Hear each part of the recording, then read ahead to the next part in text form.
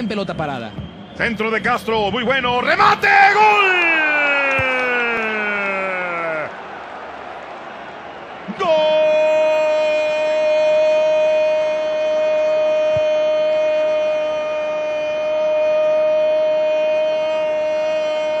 ¡Gol de Kisling!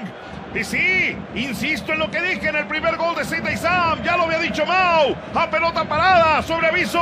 No hay advertencia y no hay engaño. Parte a primer poste.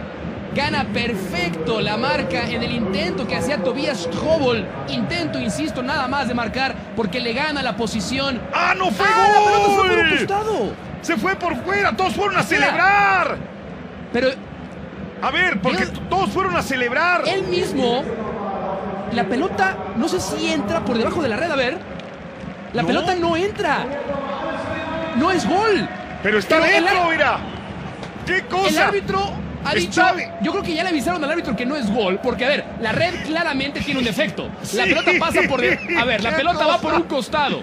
Y después, cuando el futbolista voltea, la pelota está dentro de la portería. Pero es que se mete por debajo. El árbitro creo que marca el gol.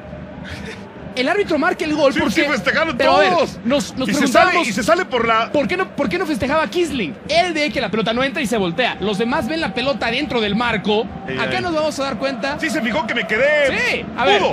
No es gol, pero luego, increíblemente por un acto de magia, Copperfieldesco, la pelota aparece adentro de la la, portería. Pero Kisling dice, no fue gol. ¿Qué qué? Y ahí vienen Vas- todos, mira, como vieron que el balón. gol, claro. Como vieron que el balón recorre exactamente la zona de gol, Yo nada más quiero saber portería. si el árbitro decreta el gol. en primera instancia. Claro, porque Sí. escucho el silbatazo típico del No, gol. sí, sí, sí. Y no sé si alguien le dice, nine, nine, kein Tor. O sea, no hay gol. Es una de las cosas más raras que he visto en el fútbol en años.